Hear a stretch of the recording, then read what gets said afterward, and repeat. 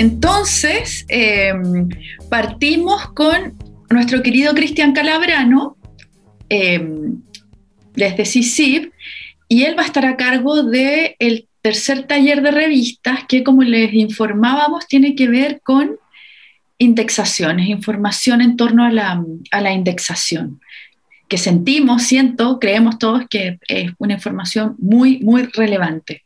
Así que, Cristian, todo tuyo el micrófono, compartir pantalla, todo ahí para, para que empieces. Voy a compartir mi pantalla. ¿Ven mi pantalla, cierto? Sí, sí, ya se ve. Sí, sí. Eh, bueno, eh, buenos días eh, a cada uno de ustedes. Eh, el objetivo de este tercer taller es para poder conversar con, eh, respecto a, la indexación de revistas. Eh, va a ser un, un, tema, un taller bastante general, ya no la intención porque es bastante información, la intención es poder dar ciertas definiciones, requisitos generales, y eh, en honor al tiempo, eh, sugiero que pueda yo hacer la presentación y al término de ella ustedes me puedan realizar las preguntas. ¿Les parece? Muy bien. Y así para, poder calzar bien en, en, el, en los tiempos. Ok, eh, bueno, la indexación de revistas académicas es un tema algo que, puede generar ciertas como tensiones en, las revistas, sobre todo en, Latinoamérica. Y el objetivo del taller es más poder sentar una base eh, general para entender un poco qué, son. ¿ya? Eh, entonces, eh, desde, la base que es una indexación, podemos definir que indexar o indizar es la acción de ordenar registro de documentos empleando índices. Y esos índices les podemos, como ustedes bien saben, que permite localizar rápidamente estos registros, documentos que requieren elementos eh, principales. Y estos elementos nosotros le llamamos, o técnicamente se llama metadatos. Ahora, ¿qué son los metadatos? Son los que describen los documentos. En este caso, los que describen los artículos de, de revista o las revistas. Eh, ¿Qué es lo que describe? Describe el título del artículo, el autor, la autora, los autores, la afiliación de cada uno de ellos, las palabras clave, resumen, número de publicación, la paginación, el DOI, etc. ¿ya? Todos los elementos, los componentes, la información que trae un artículo eh, se describe eh, a través de esto que le llamamos metadatos. Entonces, se dice que una publicación está indexada cuando estos metadatos, o sea, estos datos de los documentos se incorporan eh, a un correspondiente índice eh, que, se transforman de alguna manera en una base de datos. ¿ya? Eso, en, términos bien generales, eso es, un, eso es un índice, una indexación. Una revista, una publicación e ingresa con sus datos, con sus metadatos e incorporada en, en un índice general o multidisciplinar eh, y es parte de una base de datos eh, nacional, internacional, regional, etc. ¿Ya? Ahora, eh, dentro de los tipos de índices, aquí podemos encontrar varios, y ahí les voy a ir explicando. Eh, cada uno de ellos podemos encontrar directorios, bases de datos, agregadores de contenido, los portales de revistas y también los repositorios. Y pueden haber otros más, ya yo coloqué aquí los más generales eh, y vamos a revisar cada uno de ellos. En el caso de los directorios, aquí ven un ejemplo, eh, podemos encontrar como, como, un índice DOAC. DOAC es un directorio de revistas Open Access, de, acceso abierto. Es un directorio internacional, si bien hay una, para poder ingresar hay ciertos requisitos. En general, la mayoría de los índices hay requisitos que los vamos a ver más adelante. Eh, es, una, es un directorio, o sea, es un, se, listan revistas con ciertos eh, criterios que, que define DOAC y lo que permite es poder saber cuáles son las revistas actual, actualmente, las revistas que son de libre acceso en distintas disciplinas. También nos encontramos con el directorio de Latindex, ¿ya? que no tiene que ver mucho con el catálogo Latindex, ahí después voy a mostrar la, la diferencia. Y hay otros eh, tipos, por ejemplo está el portal de ICCN. El portal de ICCN internacional, cuando una revista eh, se crea, la revista, nosotros lo que hacemos, solicitamos a la NIT, que es la, la representante nacional, este ICCN, sea en el caso de los impresos, un ICCN impreso, en el caso de los formatos digitales, un impreso electrónico.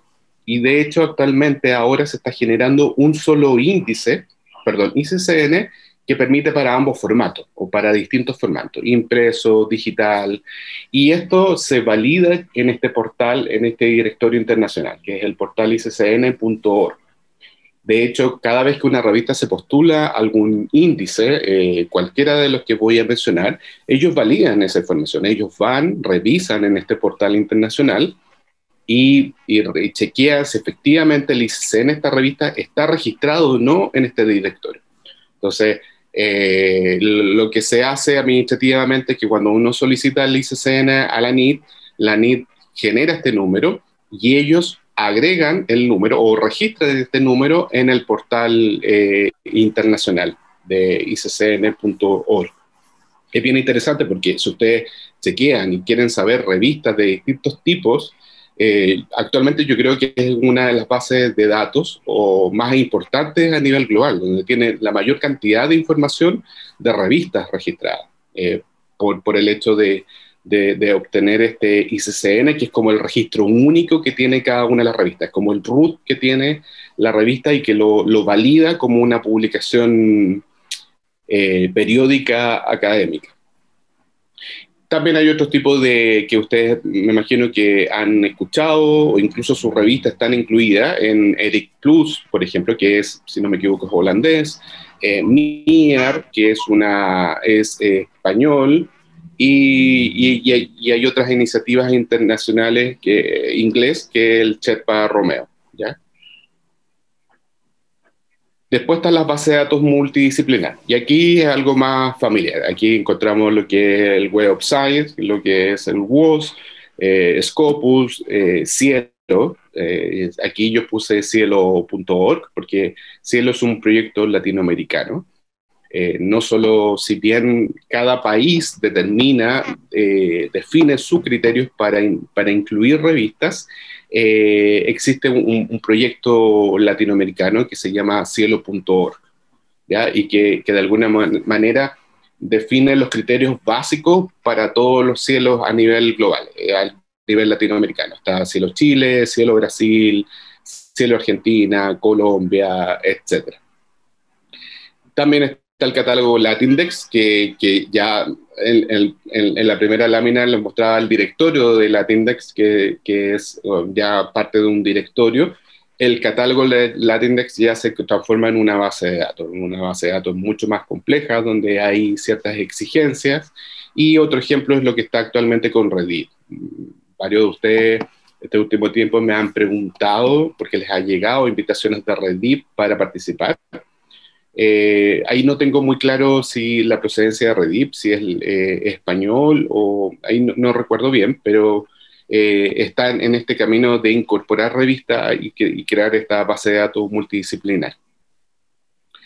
También están los, perdón, están los agregadores de contenidos y aquí en los agregadores de contenido, que también son índices, están todos estos agregadores comerciales, que está, donde varias de sus revistas están incluidas, EBSCO, ProQuest, eh, Gale, Taylor and Francis, eh, JSTOR, eh, Nature, y hay montones de casas editoriales internacional, eh, Elsevier, etcétera, que lo que hacen ellos son índices no hay un, criterio de selección de contenidos.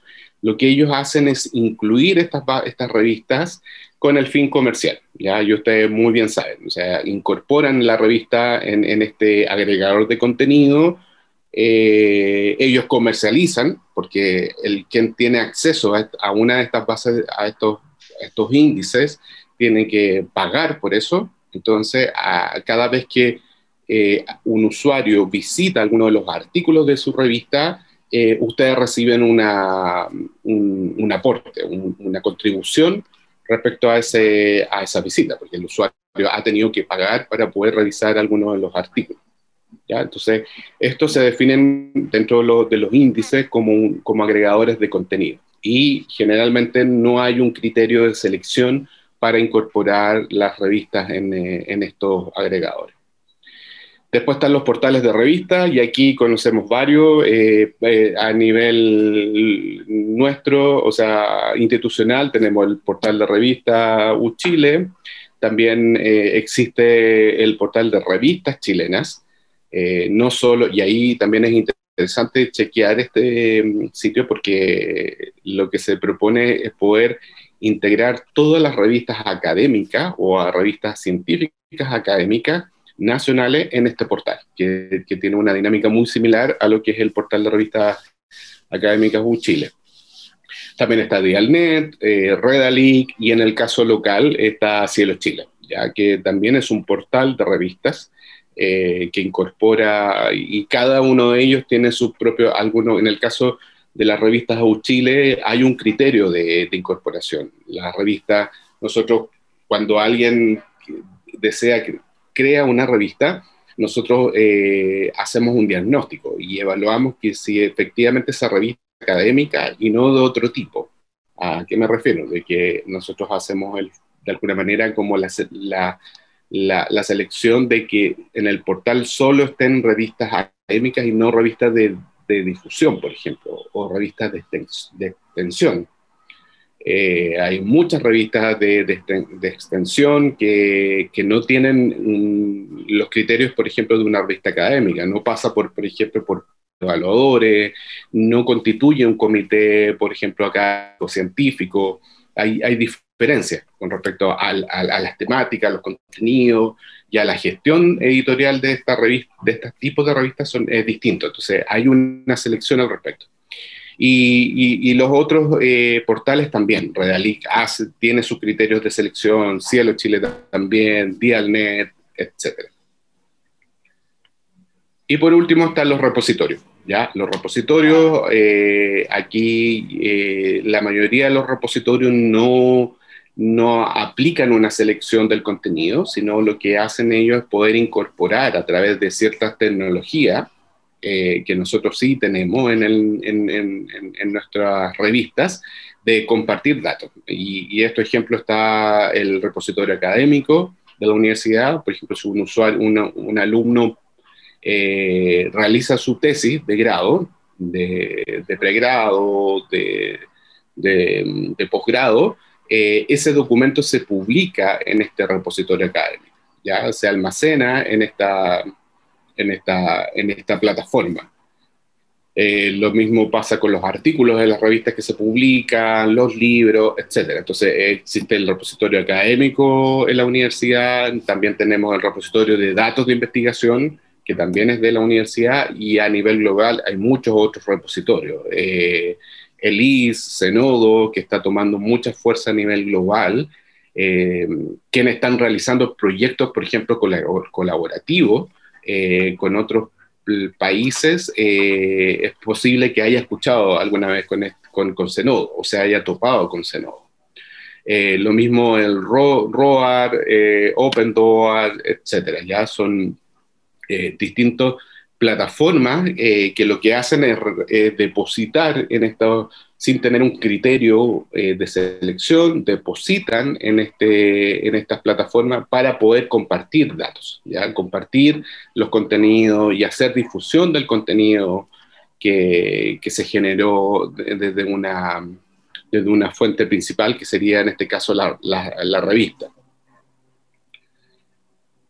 Ahora, eh, con respecto a la inclusión de revistas en los índices, ya entrando ya más en detalle, eh, en este contexto, ya para que una revista sea indexada, debe cumplir con ciertos criterios. ¿ya? Yo ya les comentaba como la clasificación de los tipos de índices, eh, no todos piden un, criterio de selección, ¿ya? Eh, pero los que sí lo hacen, eh, eh, de las revistas le exigen a las revistas que tienen que cumplir ciertos criterios mínimos, ¿ya? Y esos criterios eh, se, destacan, por ejemplo, calidad de los contenidos. ¿ya? Ahí yo puse calidad entre comillas, porque eso puede ser muy cuestionable. ¿ya? Eh, pero eh, en general los, los, índices eh, definen, son muy similares en su definición con respecto a, la calidad del contenido. Sea, ¿a qué se refieren? Que las, las revistas tienen que tener identificación y participación de los miembros del comité editorial o del comité científico, identificación y participación de los evaluadores, la identificación de los autores o de las autoras, el proceso de revisión y aprobación de los artículos, instrucciones para los autores, la tipología documental. Ahí la tipología documental es como definir si la revista va, eh, publica artículos originales de revisión o las reseñas o la editorial, etcétera. Y el otro punto que tiene que ver con que son artículos inéditos, ya que no han sido publicados en otro lugar. A veces hay una confusión con respecto al término correcto, se usa mucho el término artículo original para definir eh, lo que corresponde a esto, a, artículo inédito. Eh, lo que cuando las revistas preguntan a los autores si no ha publicado en otro lugar, en el fondo le están diciendo eso, que su artículo es un artículo inédito porque no lo ha publicado en ninguno de estos otros índices que yo les mencionaba o en ningún otro sitio eh, eh, o incluso impreso y solo en, la revista donde está enviando este artículo. Y también hay otros elementos de calidad eh, que, incluyen en este, en este criterio. También está el criterio de formales, ¿ya? Y que tiene que ver con la periodicidad de la revista, cuántas veces publica, si es una revista semestral, anual, o publica veces al año, etcétera. La puntualidad, ya, esto es súper relevante y esto, todos los índices sí exigen que las revistas tienen que ser puntuales, ¿ya? Y puntuales no en el sentido de que si yo digo que publico en junio, eh, no tengo que estar publicando el primero de junio, no significa que tengo que estar el primero de junio ahí publicando. Puede ser todo el resto del mes, lo que no debo hacer eh, como revista que si yo declaro que publico en junio, no voy a estar publicando en agosto, ¿ya? O también en diciembre y estoy publicando en enero o en febrero.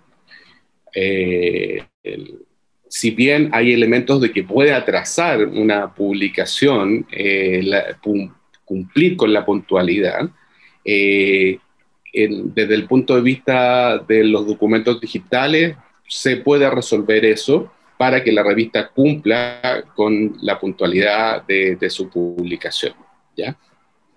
Otra característica, formal es la cantidad de artículos publicados. Eso los que eh, están en Cielo Chile lo saben muy bien. Existe un mínimo de publicación, sobre todo en humanidades y arte y humanidades, eh, la exigencia de cielo es que el mínimo se publiquen anualmente entre 12 a 16 artículos. Eh, otro elemento característico es el anonimato de la revisión de los artículos, es que utilizan ciego o doble ciego, las políticas de publicación, la colección disponible de todos los índices piden que las revistas tengan disponible en, su sitio web los contenidos, la colección completa idealmente de todos sus contenidos.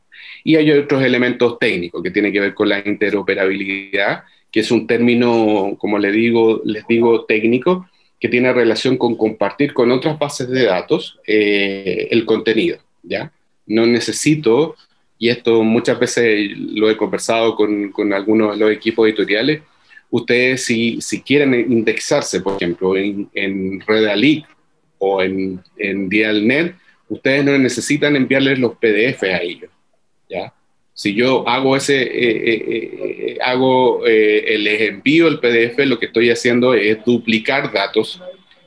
Entonces, en la plataforma o la tecnología me permite yo poder compartir, no necesito enviarles los PDF, sino desde mi registro, desde la fuente principal, yo puedo compartir eh, datos. Ellos pueden ver lo que yo tengo en mi, en mi sitio oficial.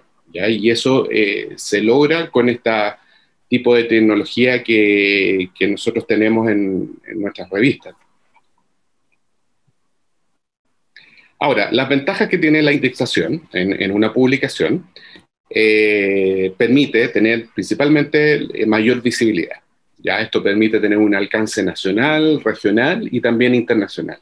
O sea, el campo disciplinar eh, permite eso. Esa es la mayor ventaja que tiene una publicación. también facilita el acceso a los contenidos en, desde diversas plataformas multidisciplinar. Mientras yo más indexado o, esté, o en, perdón, que esté en distintos índices me permite tener, facilito el acceso a mi contenido en estas distintas eh, plataformas, disciplinas, disciplinas. Entonces, ¿qué, además eh, trae consigo? La visibilidad y también la promoción eh, de los autores, el impacto. El, término que utilizan los índices le llaman el, es impacto, que en el fondo es el prestigio. Yo, yo de alguna manera doy una plataforma que yo entrego en mi revista para que los autores eh, puedan generar este prestigio eh, siendo conocidos en estas distintas plataformas. Que también logro mayor intercambio y alcance para el desarrollo del campo disciplinar en que estoy inserto como revista y te permite abordar temas disciplinarios que puedan vincularse también con la agenda pública. Eh, eh, el, mayor ejemplo de esto fue el año pasado, en plena pandemia, que muchas revistas de distintas disciplinas y, el tema más publicado el 2020 fue eh, COVID. Y, podíamos ver de distintas miradas, desde la mirada educativa, desde la filosofía, desde la medicina, incluso de la ingeniería, eh, sin importar la disciplina, era un tema eh, que, era, que, estaba presente en la agenda pública, no solo nacional, sino a nivel global, y permite eso, permitía, permite poder abordarlo de una manera desde nuestra, de cada una de las, de las disciplinas de, la, de las revistas. Ok, ahora ya entrando ya más en detalle, eh, voy a tomar cinco ejemplos de, índices. Eh, como ya, ya les he comentado, eh, los, los, índices o la indexación son distintas, tienen distintas clasificaciones, base de datos, directorio, etc. Y aquí lo que quiero mostrar como los requisitos de cada uno de los más importantes o de los más conocidos, por, por decirlo de mejor manera eh, WOS, que es eh, la Web of Science, lo que antiguamente se llamaba EASY, eh, ha cambiado de distintos nombres eh, porque los dueños han, ido cambiando. Actualmente Clarivate, que es la empresa que, que es propietaria actualmente de WOS, definió que ya el nombre real de la base de datos, actual de la base de datos, es la Web of Science, y la sigla es WOS. Scopus, eh, bueno, y los propietarios de, de WOS, eh, aunque suene como chistoso, eh, son los chinos. ¿ya? Los chinos son los dueños de Clarivate, la, empresa de, de WOS. la competencia, por decirlo así vulgarmente, es Scopus. ¿Ya? Scopus es holandés. El propietario de Scopus es la editorial Elsevier, que es una de las mm, mayores editoriales a nivel global y siempre están entre ahí en la competencia, entre ambas bases de datos. Eh, también están eh, a nivel local, Cielo Chile, al nivel latinoamericano vamos a revisar eh, catálogo de Latintex y vamos a algunos detalles con respecto a DOAC, este directorio de revistas Open Access, que creemos nosotros como CICIP que es importante que todas nuestras revistas estén incorporadas en DOAC por el hecho de que son revistas de, acceso abierto. Todas nuestras revistas eh, son de acceso abierto, son parte de una, de una institución pública que tiene un, rol eh, social importante. Entonces, por esa razón creemos que es relevante que todas nuestras revistas eh, estén incorporadas en, esta, en este directorio.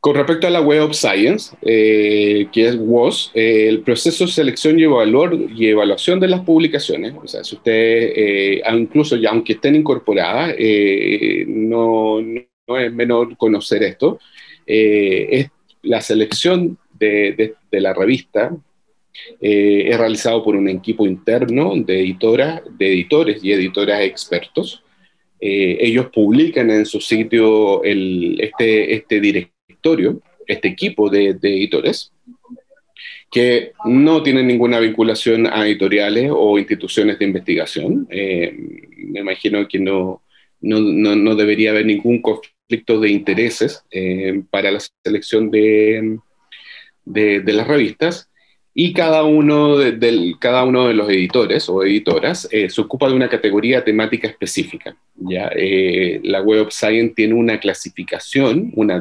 descripción de áreas de conocimiento eh, y tiene un, a un, un, responsable que es quien revisa y evalúa cada una de las revistas que se postulan a esta base de datos por disciplina y también a nivel regional.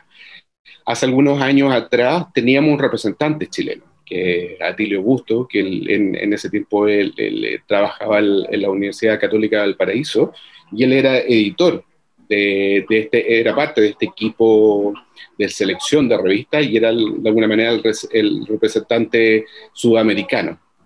Eh, actualmente desconozco quién es, ¿ya? Pero, pero eh, es una información que permite saber de que hay, alguien ahí a nivel regional eh, en la selección de lo, o en la revisión de los contenidos. la información y los datos de las revistas son recopilados de manera independiente, o sea, uno postula la revista y, y, este, y este responsable de evaluar eh, chequea toda la información que corresponde a la revista, ya hace el trabajo de poder validar todos los datos y toda la información de, la publicación, ¿ya? Eh, y eso que significa que no hay, una, no hay un método algorítmico, o sea, no hay una máquina que está detrás ahí decidiendo o rechazando las publicaciones. O sea, lo que por lo menos declara WOS es que hay un, hay un humano detrás eh, revisando, chequeando y seleccionando las revistas. Y por último, todos los editores y editoras aplican los mismos criterios, que son 24 criterios de calidad y 4 criterios de impacto. Nuevamente aquí sale la palabra impacto que yo les decía con, el prestigio. ¿ya? Eh, entonces, 24 criterios de calidad y 4 criterios de impacto para evaluar todas las revistas, sin importar la disciplina. Todos pasan bajo los mismos criterios. ¿Y cuáles son estos criterios? Ya aquí hay un cuadro general. Aquí están los editores eh, de la Web of Science. El envío es eh, online, o sea, uno eh, a través de un formulario llena los datos que, que ellos piden y adjunta los, los, los, últimos artículos publicados. Ya en archivo PDF yo envío, adjunto en este formulario estos artículos. Eh, ahora, las últimas eh, postulaciones que se han hecho este año, ya no es tan necesario eh, enviar estos PDF dentro de la postulación, sino simplemente yo agregando la URL, la dirección web de la revista, ellos mismos chequean el contenido. O sea, ellos van al sitio web de la revista y chequean todo el contenido. Ya chequean si la revista está publicando solo en digital o también está publicando en impreso, chequean toda la información eh, chequean que el ICCN esté registrado en el portal de iccn.org, etc. ¿ya? Ahí hay todo un trabajo de revisión. Ahora, cada uno de estos puntos es un criterio. Yo les comentaba de que son 24 criterios de calidad, donde ya les comentaba, eh, chequean el ICCN, el título de la revista. Ahora, el título de la revista se refiere a que ellos esperan que no haya otra revista que se llame igual. ¿Ya? Si yo digo eh, cuadernos de historia, por ejemplo, yo chequeo que no exista otra cuadernos de historia. Y si, si fuese así, eh, tengo que hacer una, una, una descripción específica a, a, mi revista. Entonces es probable, y vuelvo a tomar el mismo ejemplo, la revista en la base de datos se llama Cuadernos de Historia y entre paréntesis le, le coloca en Chile. Entonces sí hace la diferencia con la otra cuaderno de historia que debe ser, puede ser que sea de Colombia o de España, etc.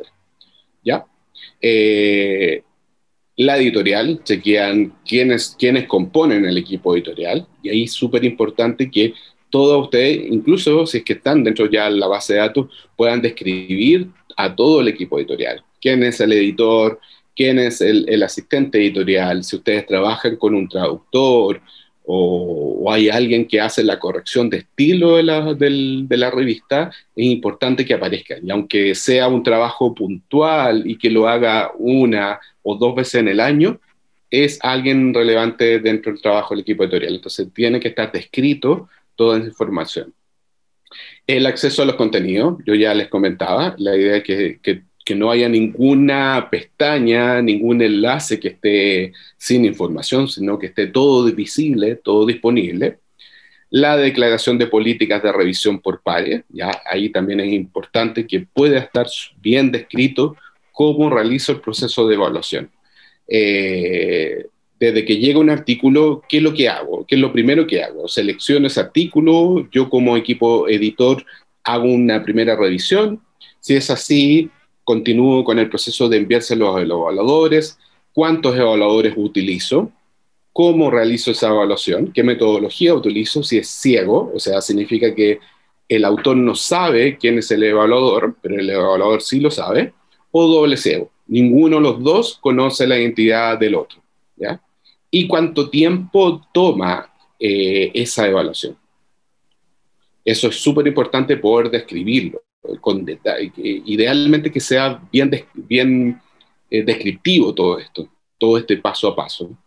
Incluso, como ya les comentaba, el, el, tiempo que ustedes toman en esta evaluación. Ahora, obviamente es un tiempo promedio, yo no, siempre hay hay, casos y casos. Hay casos de artículos que yo puedo demorar más en el proceso de evaluación porque no he conseguido evaluadores o no llegan a un acuerdo, eh, no se puede tomar una decisión, etcétera. Pueden haber distintas razones. Entonces, yo lo que hago es colocar un promedio de tiempo. Si son 12 semanas, si son 20 semanas, etcétera. Pero, pero es importante poder hacer esa descripción del, del proceso de revisión.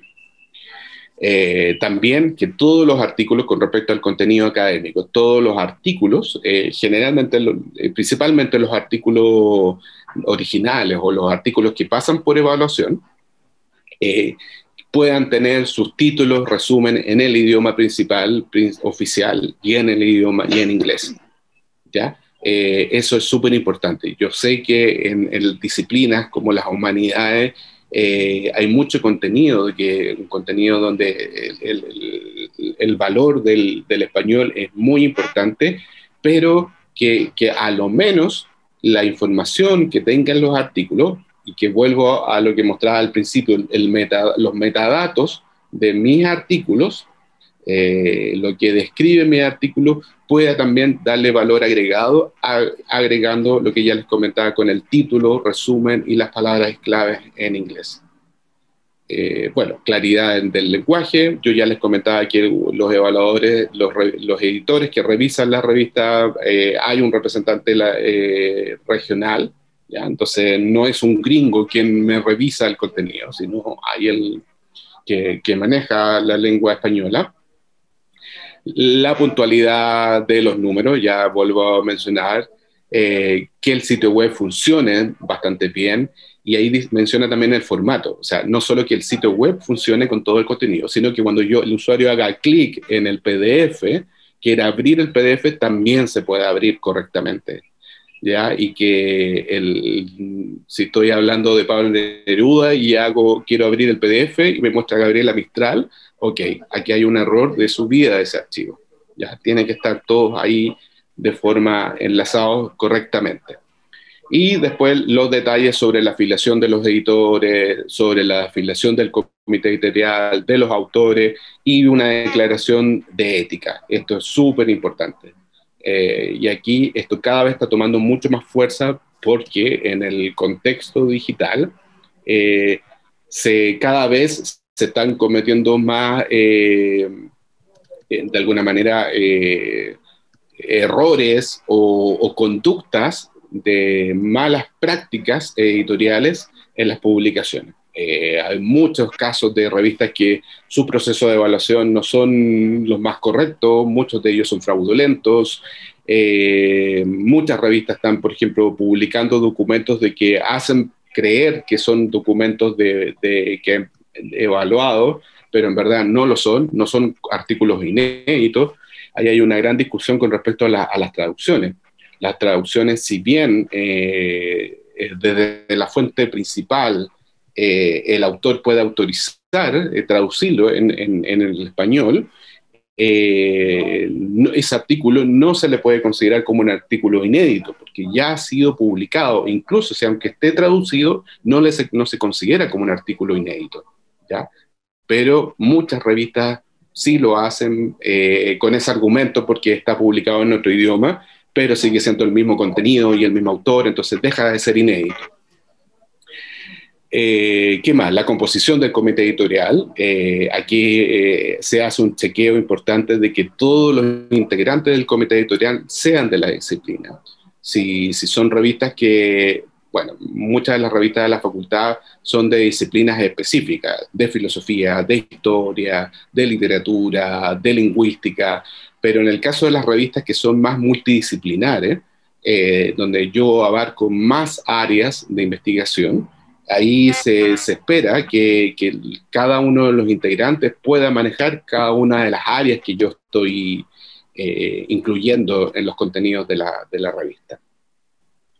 Eh, también la revisión por pares, la relevancia del contenido, eh, que si en el caso de los artículos que tienen alguna fuente de financiamiento, que eso se declare, se diga que es parte de un proyecto financiado por el Estado o por X institución, y eh, el uso de las citas. Y aquí también lo que ya hemos conversado en otros talleres es súper relevante que la cita, no solo las citas en el texto, sino también las referencias bibliográficas tienen que ser muy bien o que puedan estar incluidas de forma correcta, con la norma específica y con toda la, rigurosidad que, que, requiere las citas eh, bibliográficas, ¿ya? Porque de alguna manera la validez de una investigación o de una publicación son las citas y las referencias bibliográficas. De eso es la base de, de, argumentativa de, esa, de, esa, investigación.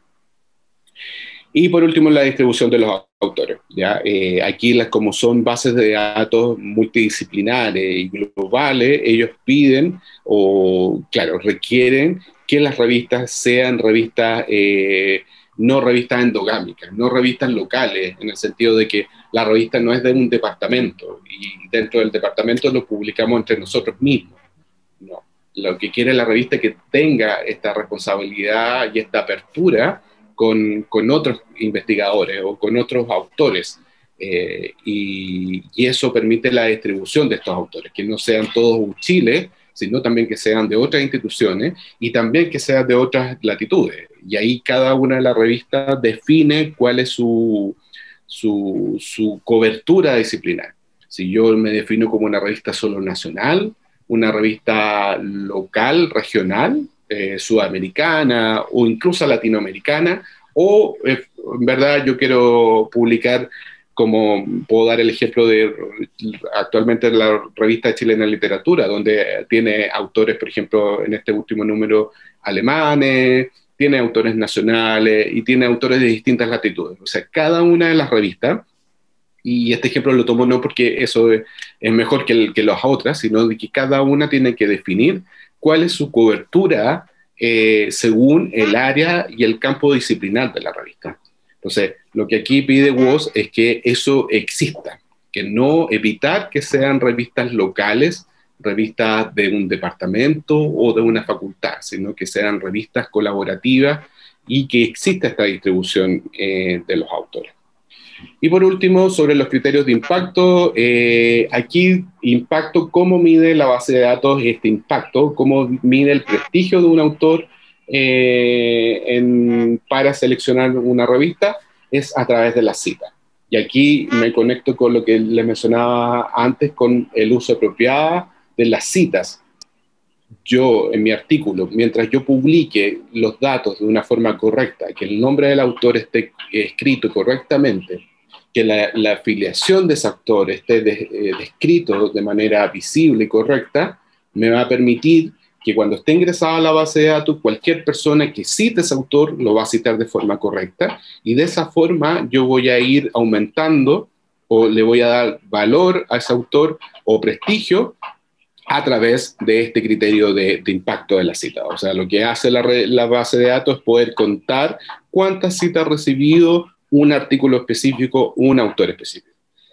Podemos estar de acuerdo o no, ¿ya? Esto quiero hacer, como, hacer un paréntesis, podemos estar muy de acuerdo o muy en desacuerdo, ¿ya? A nivel global, global hay muchas discusiones al respecto de que eh, no es posible que, que la calidad de una publicación se mida por este criterio, pero es lo que actualmente está, lo que determina la base de datos. ¿ya? Y en el caso de WOS es la forma de medir el impacto de una publicación. Entonces tiene que ver con la análisis de las citas, o sea, cuántas veces ha sido citado, al análisis a los autores, cuántas veces ha sido citado un autor de su revista, y también del comité editorial, del, del, del equipo y del comité editorial. Muchas de las revistas que, tenemos, eh, sus comités son integrados por, eh, con grados académicos como, doctores, doctoras en, en, en, su área, y se espera que ese grado eh, tenga alguna actividad importante en la publicación de artículos de revista y que esos artículos de revista sean de revista indexada, en, en este caso en estas bases de datos. Entonces, ahí ellos eh, eh, miden ese, impacto a través de eso, de cuál es la, participación de mis autores o de mi comité editorial en, la publicación de revistas eh, de la base de datos. Y eso tiene relación también con la relevancia del contenido, que también yo el contenido que estoy publicando es un contenido relevante que permita, según el criterio de WOS, ser citado por otro que otros puedan tener el interés de, revisar mi contenido y citarlo. ¿Ok? Sobre Scopus. Eh, ¿Cuánto tiempo tengo? Porque ya les comentaba que era... Eh, sobre Scopus, eh, que ya les comentaba que Scopus was, los dueños son los chinos, que es Clarivate, y Scopus la competencia, es holandés, y lo que hace Scopus para poder seleccionar y evaluar las publicaciones, ellos tienen un comité, que, un, grupo internacional que está integrado por investigadores y bibliotecarios que representan a, las distintas disciplinas y aquí Scopus define también su propio criterio con respecto a las disciplinas. Eh, a diferencia de WOS, Scopus es más descriptivo yo puedo encontrar muchos más, más en detalle los campos disciplinares de las revistas. Eh, en WOS, por ejemplo, si una revista de filosofía me lo clasifica de inmediato o de, derecho, me lo clasifica de inmediato en la categoría de derecho. En cambio, en Scopus eh, va más al detalle. me puede describir qué es derecho, si es derecho constitucional o derecho más específico o incluso eh, si yo estoy publicando otros temas que tengan relación con el derecho, también me puede clasificar en, otras áreas que no necesariamente tienen, eh, que tienen este paraguas que sería el derecho. ¿ya? Eh, este Junta Asesora de Selección de Contenido, que son estos investigadores bibliotecarios, supervisa a equipos locales que son los encargados de, que son evaluadores locales, que son los encargados de eh, por categoría específica de revisar las publicaciones que se, postulan a, Scopus. Ahora, Scopus, eh, ya les decía que tenía 24 criterios de calidad, 4 criterios de impacto. En el caso de Scopus son 14 los criterios, ¿ya? 14 eh, criterios mínimos de selección. Y además pide eh, una, que las, todas las revistas tienen que tener incluida una declaración de ética sobre las responsabilidades de los equipos editoriales, de los autores y de los revisores. ¿ya? Eso es como elemento mínimo para postular.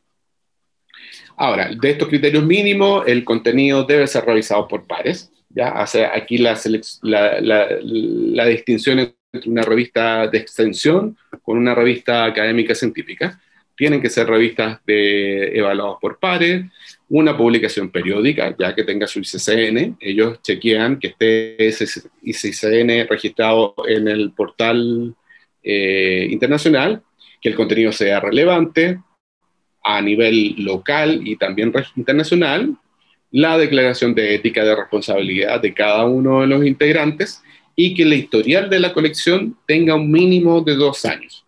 Aquí tiene que ver con el historial, con lo que está disponible en el sitio web de la revista. No que la revista tenga un mínimo de vigencia, sino de que la revista tenga lo menos dos años disponible con el contenido en su sitio web. ¿Y cuáles son estos criterios? Estos criterios tienen que ver con política, no voy a entrar en detalle porque si ustedes se fijan, eh, son elementos que se, se, parecen de alguna manera con lo que hace WOS, Eh, lo que tiene que ver con, las políticas de la revista, la diversidad geográfica de los autores, la diversidad geográfica del comité internacional, eh, la, el, lo que tiene que ver con, la misión, con, los objetivos de la publicación, con el scope que le, que le, llaman en muchas revistas, el tipo de revisión que se realiza, eh, si es ciego, doble ciego, cuántos evaluadores utilizo, etc. Por otro lado, con la calidad del contenido, que tiene que ver con la claridad de, los, resúmenes, y aquí también se pide de que la revista, eh, los artículos de la revista tengan al menos el título, el resumen y las palabras clave en inglés, o sea, en el idioma original y también en inglés. Eh, el acceso a los artículos, la calidad, la descripción, en la, edición, en la diagramación de los artículos, eh, las citas también de, de los artículos y otros elementos que tienen que ver, por ejemplo, con la disponibilidad del, del sitio web, que el sitio web tenga una versión en, inglés. Si yo estoy publicando, y esto no tiene relación con los artículos propiamente tal, si yo publico artículos solo en español, solo la, exigencia es que el resumen, título y palabras clave estén en, inglés. Pero lo que sí pide eh, en el caso de Scopus, que el contenido, las normas editoriales, las políticas, el objetivo de la revista, la misión, esa información esté en el idioma principal y también esté disponible en inglés. Y aquí, como yo les mencionaba, eh, es evaluado por esta Junta Asesora y Selección de Contenido, y estos 14 criterios son una, una mezcla entre elementos cuantitativos, ¿ya? porque va midiendo la cantidad de datos, eh, cuántos autores son nacionales, cuántos autores son internacionales, eh, las citas que recibe, etcétera, y ya más cualitativo. Eh, con respecto a Cielos Chile, ya a, nivel ya local, el proceso de selección y evaluación de las publicaciones son definidos por el contexto del proyecto Cielo. Yo ya les comentaba que el proyecto cielo.org, eh, que es Cielo Latinoamericano, cada país tiene su propio responsable, en este caso la, la NIP, eh, quien administra eh, Cielo Chile, y ellos definen sus propios criterios de selección. Y aquí definen dos elementos, eh, una evaluación formal y una evaluación de contenido de la revista. En la evaluación formal son 34 criterios, aquí ya un poco más engorroso. y esto permite, o sea, yo postulo la revista, uno de los requisitos es que la revista tengo que yo publicar los tres últimos números de la revista y que si yo, y, lo primero que se, que se realiza esta, esta evaluación formal, con estos 34 criterios obligatorios. Si la revista eh, cumple con estos 34 criterios, yo paso a la evaluación de contenido, ¿ya? que considera 10 criterios más. Si me rechazan en la primera fase, por decirlo de alguna forma, si me es rechazada la evaluación formal, tengo que volver a postular nuevamente para poder pasar eh, esta evaluación formal. Cada vez que una revista es rechazada, sea en la etapa formal o en la evaluación de contenido, eh, la NIT, en teoría, ya porque actualmente está como con este cambio de la agencia, etcétera, están un poco como demorando en, las respuestas con respecto a, a las postulaciones de la revista. Eh, ellos entregan un informe con sus observaciones. ¿Por qué razón la revista fue rechazada en la etapa formal o por qué razón la revista fue rechazada en la etapa de contenido? Pero la ventaja, y eso no lo mencioné en los otros dos, olvidé mencionar en los otros dos índices, de Scopus y WOS. Si yo soy rechazado en Scopus o en WOS, eh, la base de datos, ambas bases de datos me vetan por tres años. O sea, del momento que yo recibo eh, la, la, confirmación de rechazo en la postulación, tanto en WOS como en Scopus, desde esa fecha que recibo la, la notificación, de esa fecha a tres años yo recién puedo postular nuevamente. En cambio, en Cielo Chile, eh, si bien los criterios son más amplios y más rigurosos en esta, o podría verse que es más largo el proceso, eh, si soy rechazado tanto en la evaluación formal o la contenido, no, tengo, no me veta la base de datos. Eh, la NIT no, no me, me, permite volver a postular nuevamente, obviamente corrigiendo las observaciones que ellos me entregan. ¿Ya? Ahora, con, el tiempo, con, y otra cosa que había olvidado, con, respecto a, los tiempos de respuesta de, de WOS y de Scopus, eh, también son bastante largos. Eh, generalmente pueden demorar hasta dos años en responder, eh, en indicar si una revista fue aceptada o no. cuando una revista es rechazada, escriben de inmediato, ya notifican de inmediato a la publicación, pero si la revista va cumpliendo con todo el proceso de evaluación, es un proceso bastante lento, que puede demorar hasta dos años. Entonces, eso es importante para las revistas que tienen planes de postular a, a WOS o a Scopus, tienen que considerar que es un proceso de mediano plazo, ya no es un proceso inmediato. En el caso de Cielo Chile es un poco más lento, pero como ya les comentaba, están bastante eh, lentos sus procesos por todos estos cambios del, de la agencia, demorando más del plazo habitual, que generalmente eh, podían ser a, seis meses, seis meses, ocho meses en, respuesta. Ya, tampoco es un tiempo corto, sino es igual, eh, hay que considerar por lo menos un año en, en, el caso de Cielo Chile. Eh, ¿Cuáles son los criterios formales que, que son estos 34 criterios obligatorios? Eh, el ICCN de la, de la revista, la antigüedad, periodicidad de la revista, los integrantes del comité editorial, autores externos. Ahí eh, Cielo Chile es más riguroso porque pide que el 80% de los autores que publica la revista tienen que ser externos a la institución, no necesariamente autores internacionales. Lo que pide aquí que si yo estoy publicando 10 autores, ocho tienen que ser, no tienen que ser de la universidad, no de la facultad. Eh, para ello, eh, la endogamia tiene relación con la institución en general, con la universidad. O sea, no tienen que ser autores de Chile, eh, dos sí podrían serlo. El carácter científico de los artículos, la concentración local de los contenidos, a eso me, se refiere, concentración local en, en sentido de que las temáticas que publica la revista sean de relevancia local, nacional y también eh, regional. El número de artículos publicados al año, eh, la institución editora, quien es la responsable de la revista, la identificación de los, y afiliación del comité editorial, la misión de la revista, la periodicidad, la puntualidad, la exigencia de, originalidad de los artículos, que, que son artículos inéditos y no, que no han sido publicados en otro lugar, que la revista tiene que tener sus instrucciones eh, para los autores disponibles, las normas de publicación. Esta norma de publicación incluye eh, las normas de revisión por pares, el proceso de revisión. En el caso de que existan algún tipo de conflicto de intereses, eh, si, se diera, esto no es para todas las revistas, tiene que también declararlo la, publicación. Eh, evitar la endogamia, como ya les decía. Eh, ahí en, las bases de, cielo es, bastante descriptivo eso. O sea, tiene que ser el 80% de autores externos, en los evaluadores también, y, en el caso del comité editorial también. O sea, los autores, los evaluadores y el comité editorial, el 80% tiene que ser externo a la universidad.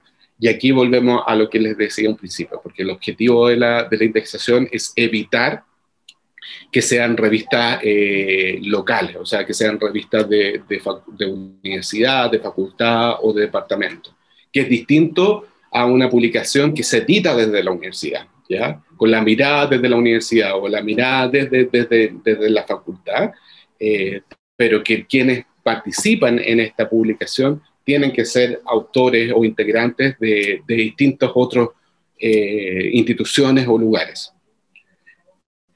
Bueno, la tabla de contenido que, bueno, cada vez que se publica se da por defecto en el sitio de, cada una de las revistas y el memete bibliográfico, que en todas las publicaciones, en todos los PDF, tiene que estar descrito ahí el volumen, el número, las páginas de los artículos, el ICCN, en el caso de las revistas que tienen DOI, agregar el DOI, etc. Y varios otros elementos, ¿ya? Yo puedo seguir, son, son varios los criterios todos los títulos eh, de los artículos, resumen y palabras claves tienen que estar en, inglés, la afiliación de los autores, la fecha de recepción y aceptación de los artículos, y aquí también es súper relevante. Eh, yo les daba un ejemplo con respecto a las traducciones, que se está cometiendo mucho esa, esa falta de, de pasar las traducciones como artículos inéditos y artículos originales de revisión.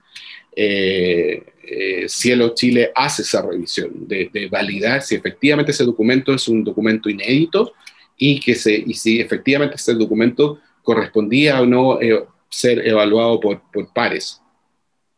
La generación continua de contenido, o sea, es una, es una publicación continua, no tiene lagunas, y esto no solo pasa con Cielo Chile, sino con la gran mayoría de los índices, sancionan mucho las revistas que lagunas de publicación. Una revista no puede hacer esto de que si declara que es semestral, eh, este año publico un solo número y el próximo año publico los dos. Ya ahí me pongo al día con el, con el número que me faltó este año. No, eso tiene, si, tiene que ser continuo eh, el contenido y cumplir con, la, con, las reglas de la puntualidad y la periodicidad de la publicación. ¿ya? Y otros elementos de, la calidad de los metadatos de los artículos, que, estén escritos bien en forma correcta los autores, etcétera, y otros elementos, que si está indexado en otras bases de datos, etcétera.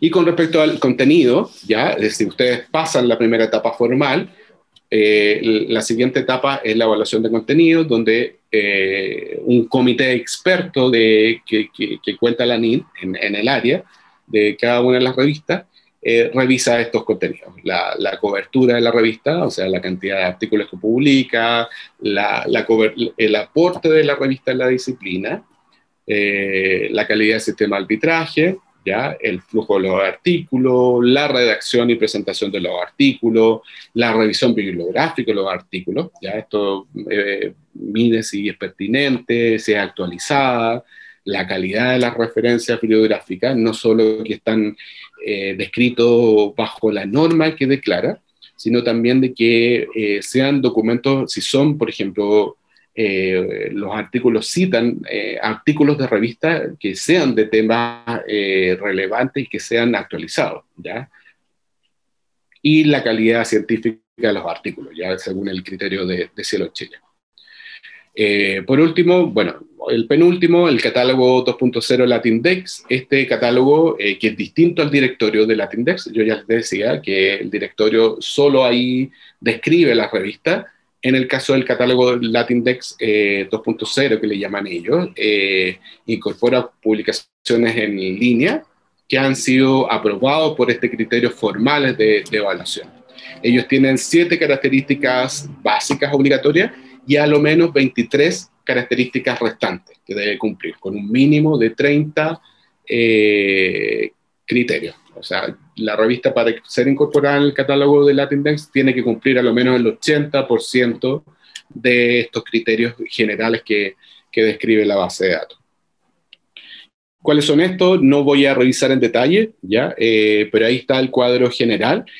Tiene características básicas. Por ejemplo, el ICCN, los responsables de la revista, las instrucciones para los autores, etcétera, las características de presentación, eh, que se menciona en la periodicidad de la revista, el acceso al contenido histórico, a la colección histórica de la revista, las afiliaciones de los autores, las afiliaciones del, comité editorial, la fecha de recepción, aceptación de los artículos.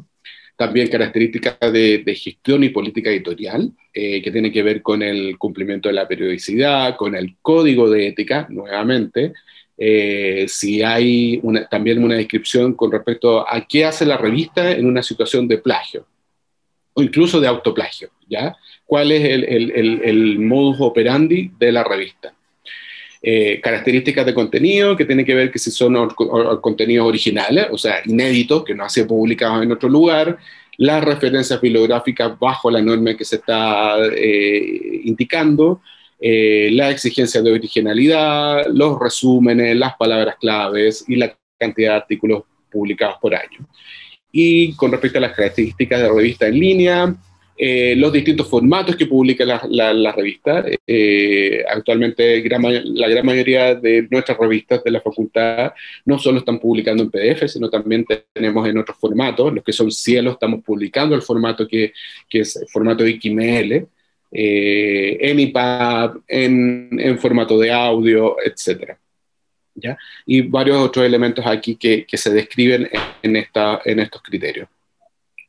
Por último, ya para no aburrirlos, eh, quería, y ya les había mencionado, de revisar DOAC, que es este directorio online que indexa y proporciona acceso a revistas académicas de alta calidad, ¿ya? que son de acceso abierto y que son revisadas por pares. Aquí no se, nos integran nuevamente revistas de, difusión o boletines eh, como específicos o, ciertos eh, documentos que son como como notas, ¿ya? Son revistas académicas eh, científicas de, calidad, ¿ya? Sí, independientemente de la disciplina, de la geografía o del idioma, ¿ya? Esto es como, de alguna manera es como el mundo perfecto de, las revistas, una, un directorio donde todo es permitido, pero bajo el criterio que son revistas académicas, científicas eh, y de acceso abierto.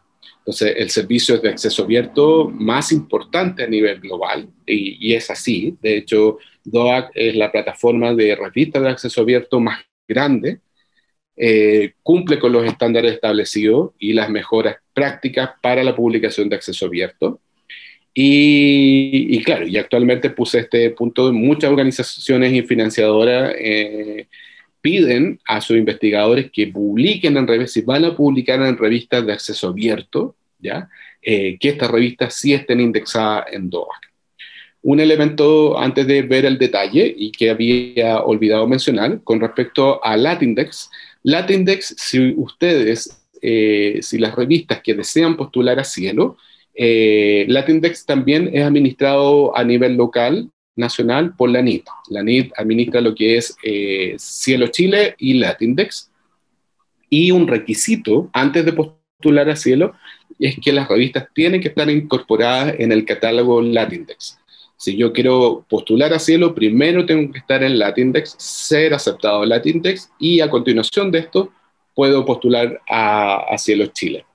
Eh, con respecto a, los plazos de respuesta de Latindex, también es bastante rápido. Lo mismo pasa con, con Cielos Chile. en menos de un año yo puedo, puedo saber si fue aceptado o no. Si soy rechazado, puedo postular nuevamente.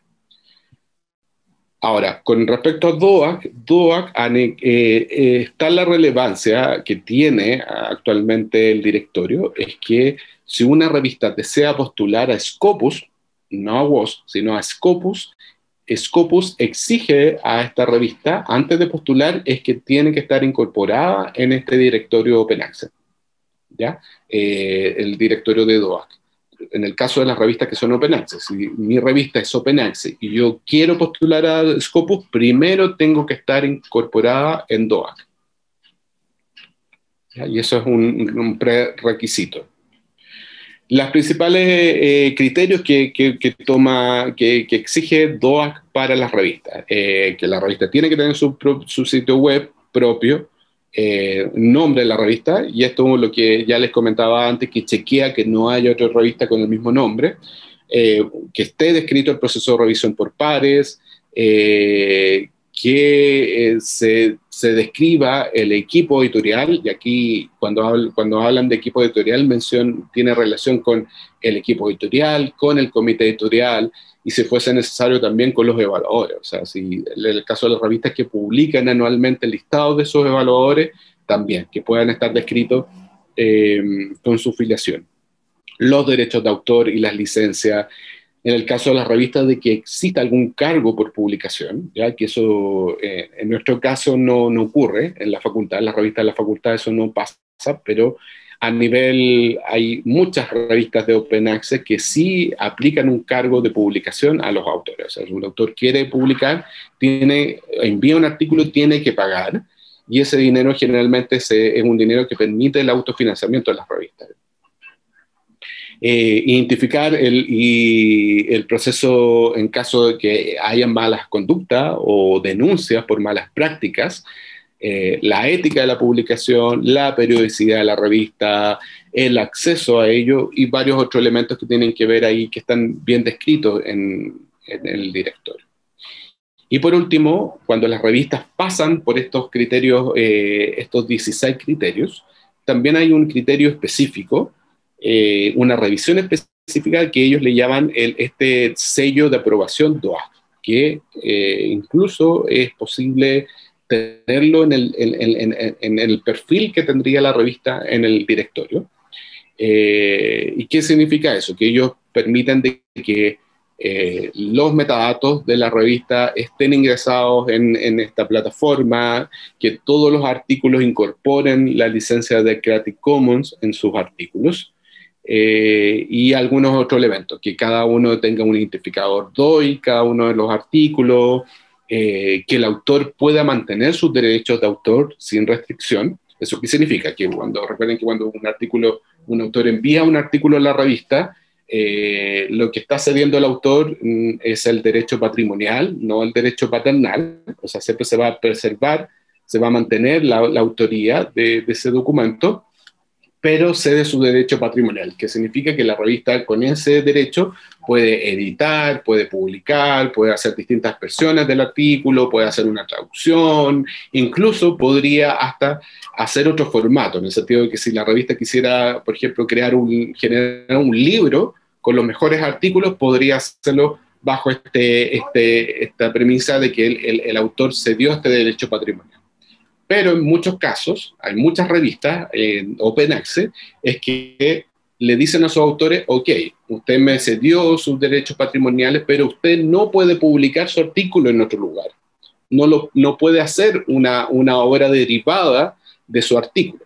Entonces, lo que pide DOA acá, en este caso, eh, es que si la revista, para poder tener el sello, si la revista tiene que eh, permitir que los autores mantengan ese derecho, ya que los autores, si bien publicó en la revista, podría no publicarlo en otra revista, pero sí podría hacer alguna obra derivada, podría publicarlo en un libro o almacenarlo o integrarlo en un repositorio, etcétera, ¿ya? Y por último, eh, esto es solo una última lámina, ya no se asusten. Eh, muchos de los índices de lo que ya hemos visto miden el impacto de los artículos o de las revistas que están integradas en, esta, en, estas, en plataformas. Y esto es lo que le llamamos nosotros las métricas. Y aquí hay un listado de varios eh, servicios o, recursos añadidos que tienen los índices donde yo puedo medir ese impacto. El Simago Journal Rank eh, es una plataforma que mide el impacto de las revistas que están en Scopus. Eh, de hecho, ahora eh, estamos realizando varias reuniones con los equipos editorial de las revistas que están en Scopus, de la facultad, mostrándoles los datos que entregó este Simago, cuál es el impacto de, de las revistas en, base a las métricas y en base al, al, impacto de las citas. el Journal Citation Report son los datos que entrega eh, WOS, las revistas que solo están en WOS, ¿ya? Eh, pero también hay otros elementos, por ejemplo en Google Scholar. Google Scholar, si bien es una plataforma mucho más amplia, yo, si la revista cuenta con un perfil en Google Scholar, yo podría tener, obtener métricas de ella. Lo mismo pasa con Microsoft Academy, que es menos conocido, pero según la literatura o según lo que se, se, se piensa, es que va a tomar a futuro mucho más fuerza que Google Scholar. Eh, Cielo, Cielo, el proyecto de Cielo latinoamericano tiene también su propia plataforma de Cielo métricas. Eh, Dialnet también tiene, entrega algunas métricas para las revistas que están integradas en, ese índice.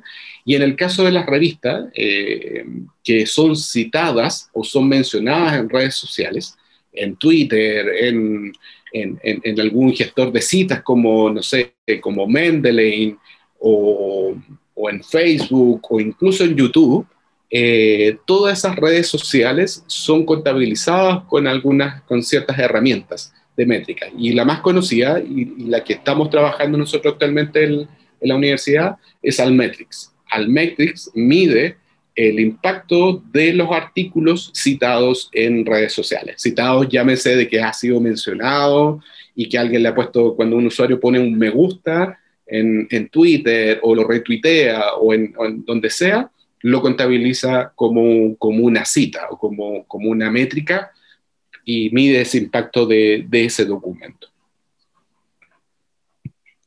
Muchas gracias. Como ya les dije, iba a ser bastante extenso, así que voy a ver ahí si, si, hay preguntas. No he visto ninguna de las, si es que hay preguntas, no he visto nada, así que ahí me pueden ayudar si, Cristian, toma agua, toma agua, que, no has parado de hablar. Yo decía, pero como este hombre no para, no para. Mira, estaba yo revisando, veo a Ale que está con la mano levantada, pero antes de eso, em, Iván también había hecho un comentario en el chat y luego Isabel también se apuntó. Entonces sería Iván, sería Isabel, Ale y Horst. Y Carolina.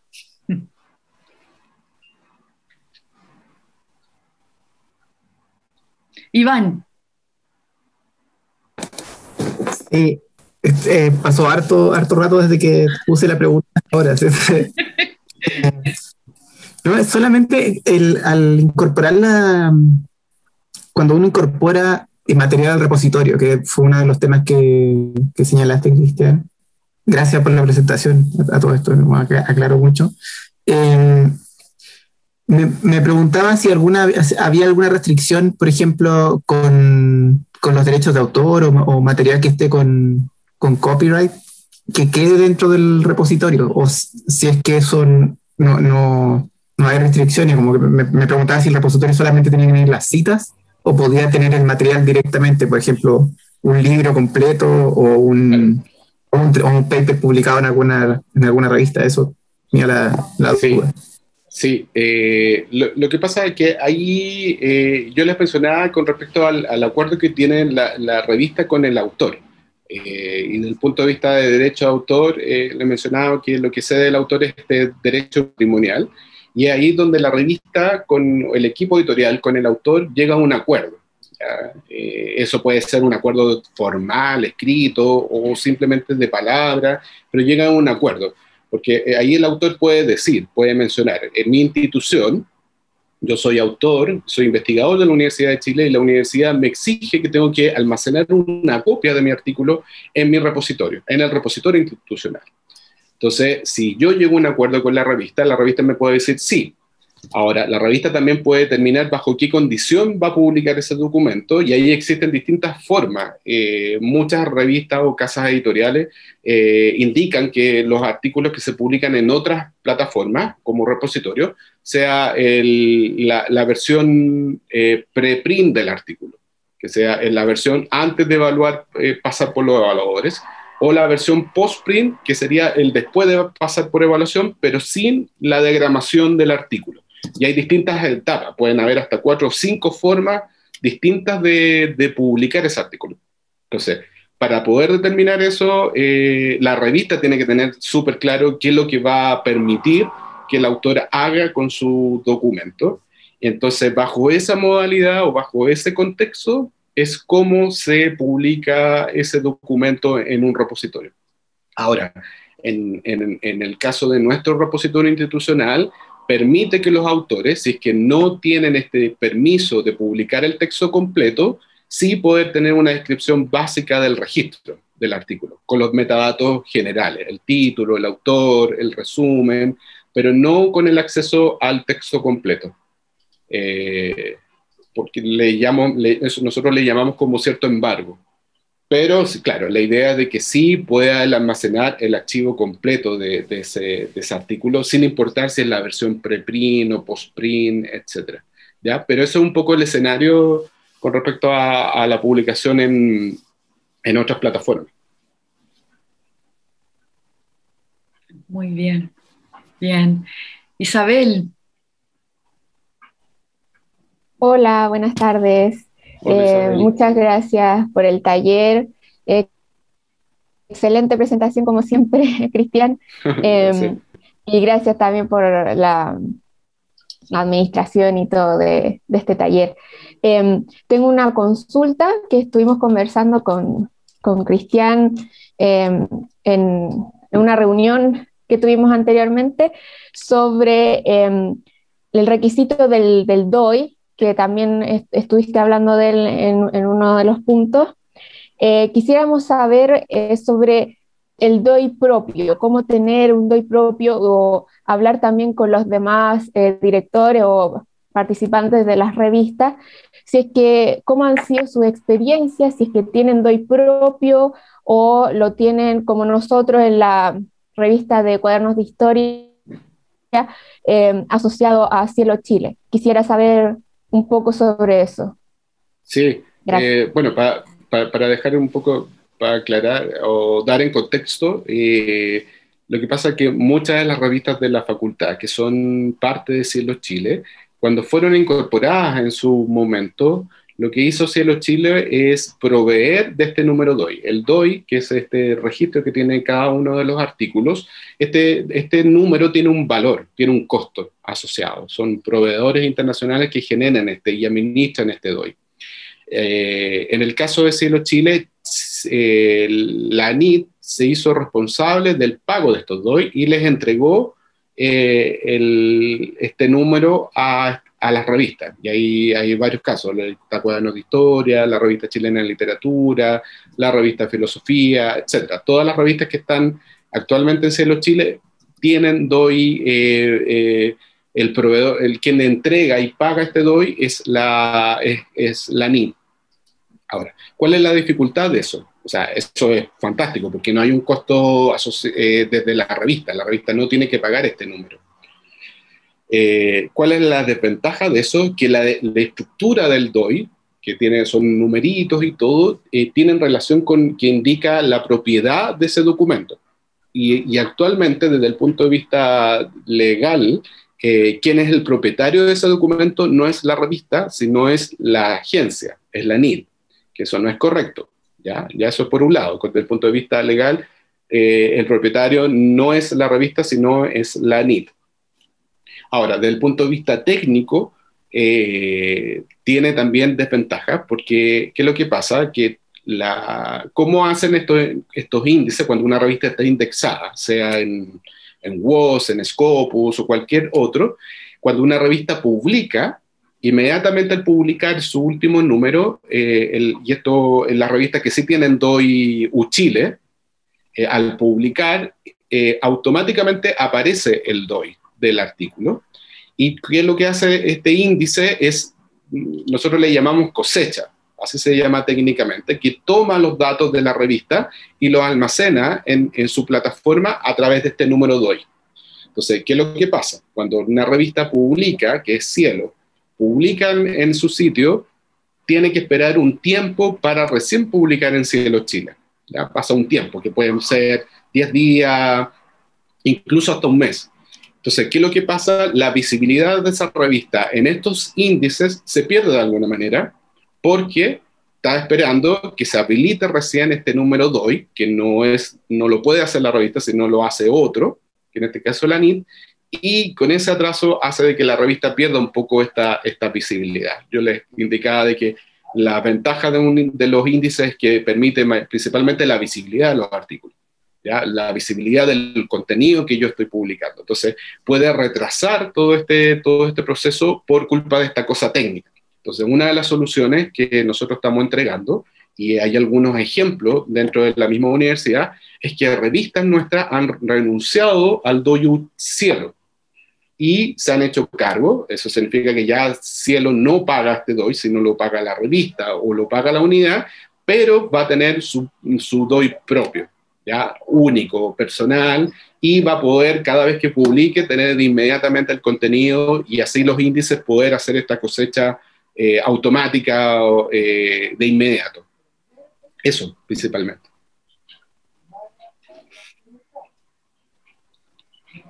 Entonces, lo, perdón, lo, digo para que se pueda, claro, yo lo, planteamos en el caso de cuadernos de historia, de que sí puede, eh, está generando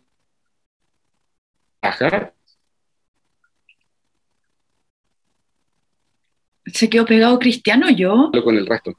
Ah. creo que fue él. ¿Cristian? Sí, estoy acá que tenías, ahí un, tenías un problema ahí de, conexión. ¿Puedes repetir la última frase que, dijiste porque no se entendió bien?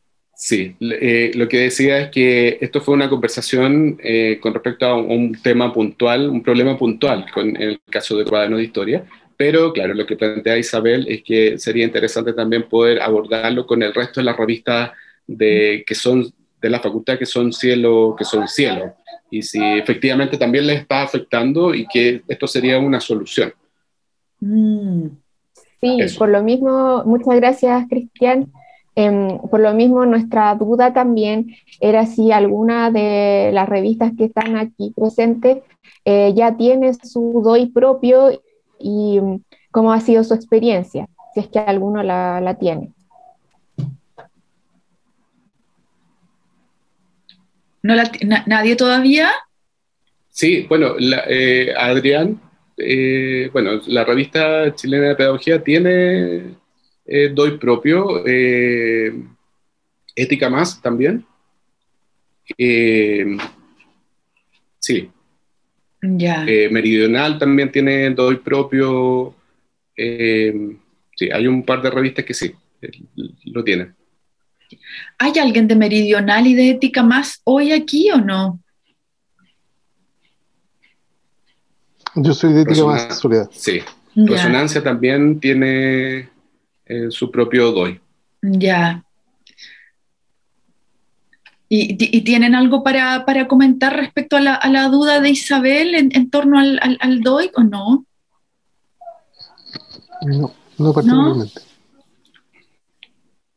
Démosle una vuelta entonces para ver qué, qué pasa ahí. Funciona sin problema, Isabel. Eso podría decir yo, que yo ya sabía este problema, lo sabía, Cristian lo había comentado alguna vez, hace años, y funciona sin problema. Uno de verdad que puede hacer todos los cambios en el momento de la, de la diagramación, que en este caso la, hago yo mismo. Entonces, mucho más expedito todavía colocarlo en el artículo PDF definitivo. Sí, la única diferencia va a ser que van a tener que pedir que generen el PDF con el DOI una vez que está generado. De hecho, eh, la sintaxis del DOI, eh, uno ya la tiene con el, con el número de registro que tiene cada artículo. Entonces uno puede anticipar cuál va a ser el DOI que va a recibir ese artículo. ¿sí? A menos que uno se atrase y se cambie de año, que a nosotros nos ha pasado lamentablemente eso, que no ha, cambiado de año, y ahí uno tiene que actualizar según el año. Pero con el número, el registro que queda cada artículo ingresado en la plataforma, en la plataforma de la intranet, eh, uno puede ¿cómo se dice? Eh, puede eh, ya saber cuál va a ser el DOI que va a obtener. ¿sí? Eh, va cambiando el, año en general, pero el registro, la sintaxis es la misma. No sé si Cristian puede especificar un poco más con los términos técnicos lo que estoy tratando de decir. Sí, sí, sí, por supuesto. Sí, no, es, correcto lo que dice Cristóbal. Sí. aquí un poco el, impacto tiene que ver más en, en relación directa a las revistas Cielo, Cielo Chile, que tiene un poco esta demora en, porque, claro, dependen mucho de lo, de lo que entrega la NIT y, eso puede demorar un, buen tiempo y eso eh, atrasa varios otros elementos, por ejemplo, cualquier tipo de corrección, actualización de contenido y la difusión principalmente. Bien, lo dejé ahí apuntado para los pendientes lo de, lo, de Doig, porque creo que hay que ahí reflexionarlo un poco más y le doy la palabra a Ale Ortiz. Eh, gracias, ¿se oye? Sí. Eh, muchas gracias, Cristian. Gracias, mucha información útil. Eh, tengo unas preguntas que van como vinculadas. Eh, con respecto a los problemas de atraso en la publicación de números por la pandemia, quería saber si hay, hay, algún criterio que se está em, que se tiene presente, porque esa es una situación, por lo menos que nos está ocurriendo a nosotros. En ese sentido, ¿cuándo vuelve a evaluar ¿Cuándo vuelven a evaluar los índices si uno ya está indexado? Si hay como un periodo desde que uno lo indexaron por primera vez. Y, en relación a, también vinculado en relación a las traducciones, si es que uno ha explicitado que algo es una traducción, si es que eso tiene un impacto distinto con respecto a lo que tú decías de publicaciones que están eh, haciendo parecer que cuestiones son inéditas cuando no lo son, si es que uno es, digamos, honesto al respecto, si es que eso tiene alguna importancia. Sí, no, Sí, no, muy bien las la preguntas, me parecen súper bien. Con respecto a la evaluación que hace, claro, yo, yo explicaba y, ahí olvidé mencionar, eh, ponía la situación de las revistas postulando a los índices. Mm, en el caso de las revistas que están incorporadas en los índices, principalmente en WOS y en Scopus, ellos hacen evaluaciones anuales. Lo que ellos describen eh, estos comités, estos mismos comités que tiene cada uno de los índices, eh, no solo seleccionan las revistas para incorporarlas en la base de datos, incluir nuevas revistas, sino también hacen chequeo de, las revistas que están eh, incorporadas en la base de datos. Y, el criterio que utilizan, como ya les comentaba, tiene que ver con el impacto. ese es el criterio general. Ellos miden cuántas veces está siendo citada o visitada un artículo de una revista dentro de la base de datos. Y por eso eh, ahí toma más importancia que, el tema anterior respecto al DOI. Mientras más eh, rápido esté el contenido, porque como ya les comentaba, lo que se, lo que se incluye en los índices son los, los metadatos. Entonces, mientras más estén disponibles los metadatos, y estén correctos estos metadatos, va a permitir que ingrese inmediatamente a la base de datos y le da mayor visibilidad y permite tener como actualizados siempre los contenidos de esto y de esa forma ayuda a, dar el espacio para esta, eh, para que a futuro puedan haber citas. Nosotros no podemos, no podemos controlar quién va a citar o no, pero sí podemos eh, propiciar el espacio para que eso se pueda dar a través de la base de datos. Eh, y claro, hay una evaluación anual, eh, en algunos casos incluso dos veces, una, una vez cada dos años, eh, pero con, con, con, el contexto de digital es mucho más rápido y es mucho más fácil de poder evaluar las revistas. Y, y, claro, y hay elementos que sí, y, y ahí me, me, quiero tomar de la segunda pregunta, que tiene que ver con la transparencia del contenido que se publica en las revistas. Eh, es sí es relevante poder identificar en los artículos cuando es una traducción o, el tipo de documento. Yo hablaba de, tipología documental. ¿ya? Las bases de datos describen mucho esto, eh, qué es un artículo de revisión, qué es una reseña, qué es una traducción, y es importante que los artículos estén descritos de esa forma.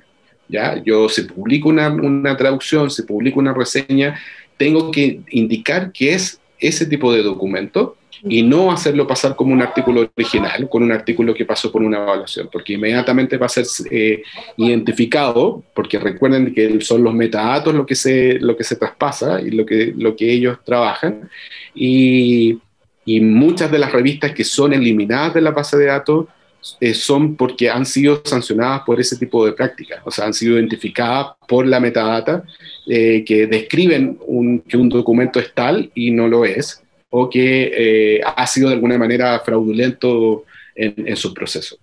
Ahora, esto igual es cuestionable porque han habido muchos casos eh, tú comentabas, Alejandra, que en el contexto de pandemia se generaron también muchos conflictos eh, con respecto a las bases de datos. Muchas revistas estaban publicando contenidos eh, en el contexto COVID, donde muchos de estos contenidos eran solo preprint y no, no habían sido evaluados por, por pares de evaluadores, y los publicaban las revistas y los índices empezaron a alertar de que, claro, no todo lo que se publicaba sobre COVID eh, era validado por la comunidad científica, sino de que no había, no había tenido esta rigurosidad de que tienen las revistas. Entonces, claro, eh, bajo ese contexto, eh, creo que sí, es importante eh, tener, nosotros le llamamos como la calidad de los metadatos en los artículos, en, obviamente en el contexto digital. Bien.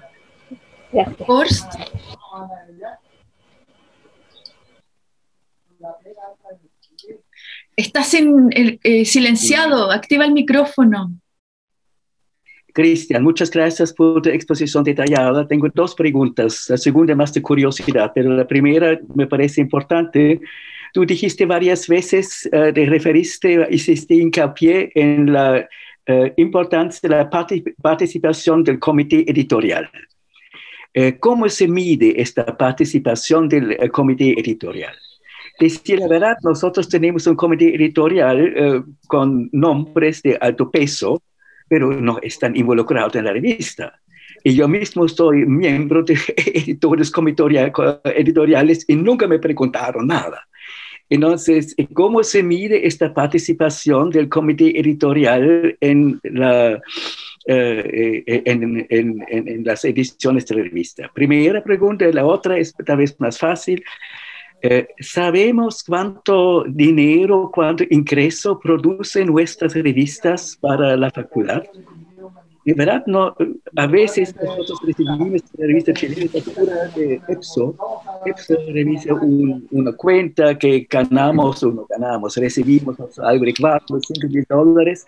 Pero en verdad no, tengo, no, no, lo tengo claro. Y tal vez para todos nosotros sería interesante saber eh, cuántos eh, ingresos producimos también para la facultad, no que no estamos solamente eh, costando a la facultad, pero también estamos generando ingresos. Esas son las dos preguntas. Gracias, Cristian.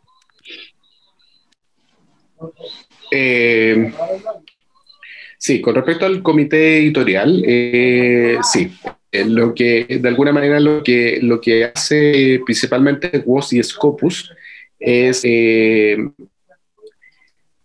cómo mide, y vuelvo a utilizar el término impacto, que es como lo que ellos ahí, cómo lo plantean, cómo miden la participación de los comités editoriales las revistas, para que no solo sean numerales, eh, no, no tiene relación con que, que, que, el comité publique artículos en la revista, sino que lo que hacen estas bases de datos, revisan eh, cuántos artículos tiene cada uno de los miembros publicados en alguna revista en WOS y en Scopus y cuántas citas tienen en sus artículos.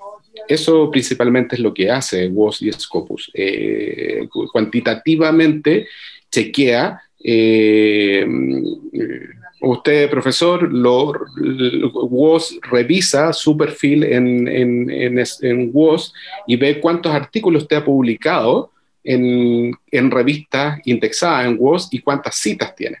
Y de esa forma ve la participación. A eso se refiere WOS y Scopus. ¿ya? Estemos de acuerdo o no, eh, muy cuestionable eso, pero es la forma en que ellos miden. Y esa forma es, la, lo que ellos le llaman la participación no es la participación de nuestra revista, revista chilena de literatura, sino la participación en el paisaje científico en general. Exacto, en, el área y en el campo disciplinar en el cual se describe. Si, eh, usted dice que es eh, especialista en literatura X, eh, claro, la base de datos va a chequear de que todos los artículos que ha publicado en la base de datos tienen relación con esa temática.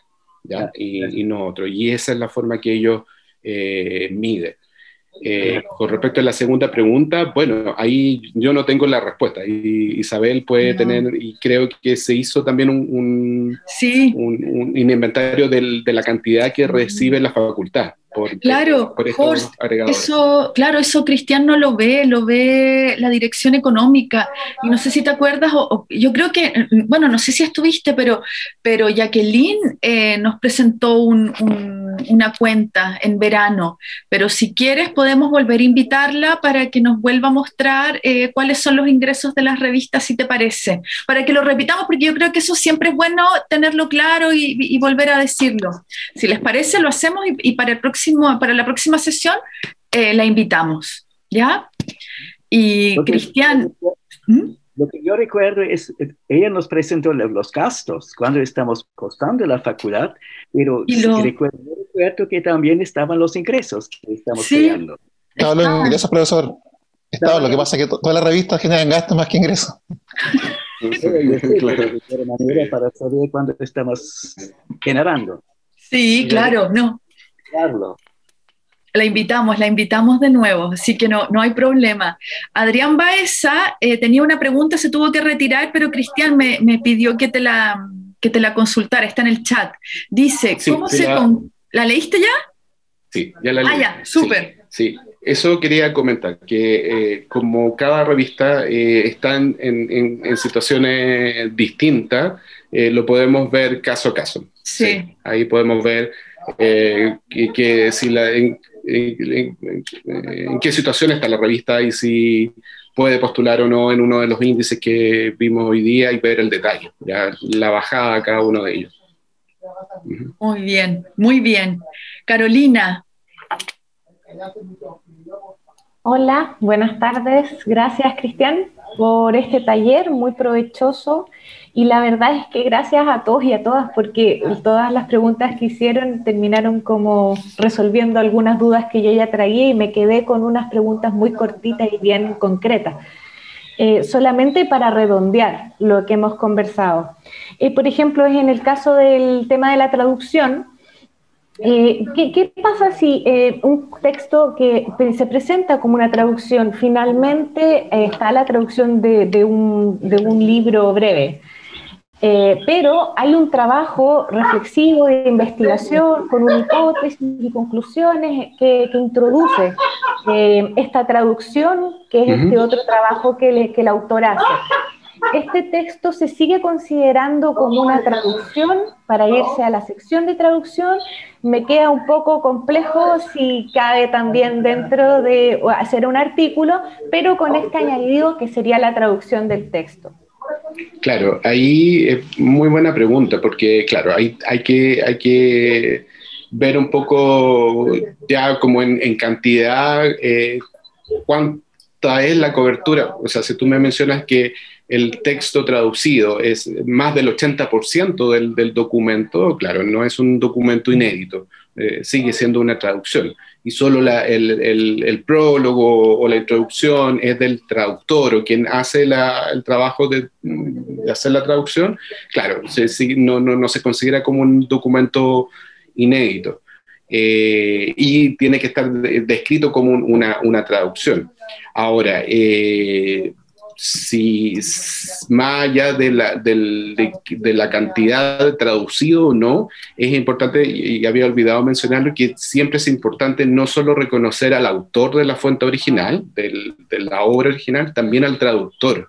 Eh, bajo la ley de derecho de autor también se le reconoce al, autor, al traductor como participante, como autor de la obra. ¿Ya? Porque hizo este trabajo, eh, también pasa con, lo, con el, cuando hay una transcripción o incluso una ilustración, también se consideran eh, como autores de, de, una obra.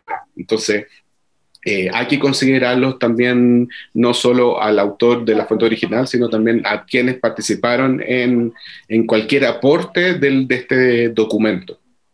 Ya. Eso, principalmente. Ok, ok. Y, y lo segundo, eh, yo, esto es solo como para confirmar, ¿ya? Em, cuando los artículos ya han sido publicados en otra, en otra revista, pero presentan una revisión, una versión aumentada, que genera un giro en la propuesta original y que por lo tanto sí eh, se presenta como un artículo inédito para ser publicado en nuestra revista. Eso está bien, ¿no? Eso sí, se considera. Sí, se considera. Perfecto. Sí, y, lo último, cortito. Em, eh, disculpa, para, disculpa eh, eh, solo para complementar de eso, ahí es, un poco, es más riguroso, si bien en ciencias sociales, en, en, humanidades no es tan complejo, es más complejo en la ciencia, cuando tú trabajas con muchos datos cuando hay mm. muchas data, ahí es mucho más delicado y ahí es más riguroso en el sentido de que ahí en ese caso no se consideraría un, un, artículo inédito, porque estás utilizando datos de otro, no hay una nueva hipótesis al respecto, ¿ya? Entonces ahí, pero, pero en humanidades no, no, no, no es tan riguroso en ese sentido. Ok, Y lo último, he notado en distintas publicaciones que han estado incorporando dentro de los datos de los autores el ORCID. Y yo quisiera saber qué relevancia tiene eh, para poder instaurarlo también en la revista. Mucha relevancia, cada vez está tomando mucho más fuerza, no solo, no, no solo ORCID, ¿ya? porque en el fondo es que lo que se pide es que los autores puedan contar con un perfil de investigador en distintas, pueden ser en distintas plataformas. La más conocida y del libre acceso es ORCID, eh, pero hay un montón de otras. Eh, Google Scholar también, uno, un investigador puede crear un perfil. Eh, Pablon, que es propietario WOS, etcétera. Hay distintas plataformas, entonces el objetivo de eso es que la metadata que, que, tiene esa información, estos perfiles, ahí está no solo el nombre del autor, sino también su currículum, su participación, su afiliación, permite que cualquier modificación que él realice sea de manera automática. Entonces, si el autor publicó en el artículo y dijo que era de la Universidad de Chile, pero a los meses después cambia de afiliación, va a actualizar su perfil y al agregar ese código, este número va, lo va a generar automáticamente esta actualización. Y ya, si bien en el PDF va a aparecer con la afiliación antigua, pero en el perfil de Orsin va a estar actualizado. Entonces, eso da mayor visibilidad y transparencia en el caso de, de los autores. Entonces, sí, cada vez toma mucho más relevancia y, y le da mucho más peso a los índices. Eh, eh, eh, si bien no es una exigencia, pero cada vez está tomando mucho más fuerza y creemos que sí lo va a hacer a futuro. Súper, muchas gracias. Alan, tú habías levantado la mano, pero después la bajaste. Me imagino que te respondieron algo. Ya, súper. Oye, ¿les parece que vamos cerrando? Porque se alargó y no sé ustedes, pero yo ya he llegado a un momento en Zoom desconecto. Es como un déficit atencional eh, ligado al, agotamiento. Pero no olviden, por favor, eh, insistirnos en propuestas de talleres. ¿ya? Por ejemplo, quizás un taller especial para los que no están en, en ver más detalles. Eh, el que quiera pasar a Un pequeño taller para eso, em, qué sé yo, eh, cosas por el estilo, si les parece, nos van escribiendo y los vamos organizando. Y luego em, a partir de un, problema que hubo eh, en relación con, una revista en que solamente publicaron hombres, eh, también podríamos ver un poco de bibliometría que lo tocamos. ¿Se acuerdan que lo tocamos en una de las primeras sesiones con CICIB, que formaba parte de la bibliometría, este, em, la, paridad genérica? También, si les parece, podríamos armar un, un, taller reflexión en torno a eso. Eh, Sergio, tú estás levantando la mano rápidamente. Es que, es que saben que nos vamos a alargar y yo también tengo otra reunión, así que, eh, Sergio, pero eh, aprieta el micrófono, estás hablando en silencio. Correcto. Disculpa, 30 segundos. Saludo, eh, excuso mi atraso, tuve un inconveniente doméstico de última hora, por eso me incorporé tarde. Por, lo tanto, preferí callar. Un tema que no tiene nada que ver con lo de hoy día, Soledad, pero que lo dejo planteado para, no sé si un taller, una reunión, una conversación bilateral o multilateral, tiene que ver con algo que nos interesa con una definición por parte de la facultad, entiendo, respecto de las horas asignadas a nuestra jornada laboral por concepto de dirección de revistas académicas sin que ello incida negativamente en, el AUCAI. Me parece que es un tema de la máxima importancia. ¿Cuántas horas puedo poner yo en mi informe? ¿10, 15, 20 horas? Oye, Sergio, pero yo creo que eso es, como para hablarlo con dirección académica. Si te parece, podemos coordinar algo con dirección académica, porque eso, dirección de investigación no lo ve realmente. ¿Te parece? Lo hacemos entonces. Lo voy a apuntar. pero tiene que ser una, una, una, eh, la expresión de una demanda colectiva, de una preocupación colectiva. A eso me refiero. El sí, canal, vean. Ya, pero me parece que es muy importante eso. sí, súper. Pero claro que sí. Porque está pasando esto, pero con muchas otras cosas, no solamente con las revistas. Por ejemplo, me pasa a mí con la coordinación. La coordinación de pregrado me toma no jornada completa, me toma yo creo que jornada completa y media. Así que no, sí, sí. Y puede ser negativamente si te toma, no sé, 25 horas, por decir. Claro. Poco espacio con las otras funciones que tiene que cumplir. Investigación, extensión, para hacer cursos de pregrado solamente. Exacto, no, y luego también, sí, y luego también, ¿sabes lo que estoy viendo? te lo digo? Porque mm. yo soy miembro de la comisión de calificación. Entonces, sé que es un problema y que y, esto se va a poner cada vez más duro y rígido. Sí, sí, no, mira, lo, tomo nota desde, desde este espacio, está súper bien, súper bien. Sole, rápido.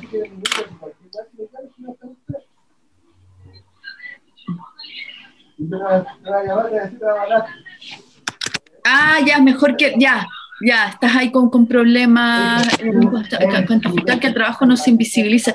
Totalmente de acuerdo, muy bien. Lo dejo ahí, lo voy a tocar em, con el director académico y si les parece, quedamos hasta acá. Cristian, querido, gracias por este taller que fue realmente una paliza de información.